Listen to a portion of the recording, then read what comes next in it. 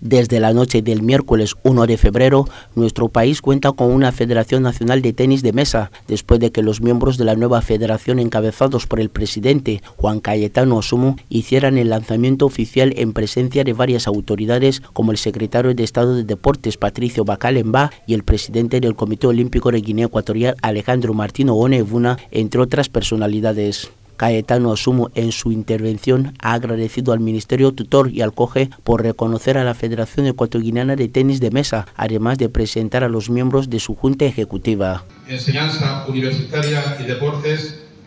número 23 para 73 140 de fecha 19 de enero de 2023. Desde el comité, el máximo responsable ha deseado la bienvenida a la nueva federación a la par que ha apelado a los miembros a realizar actividades. Por tanto, este va a ser nuestro empeño y ahí siempre vais a encontrar el apoyo eh, del Comité Olímpico de Guinea Ecuatorial.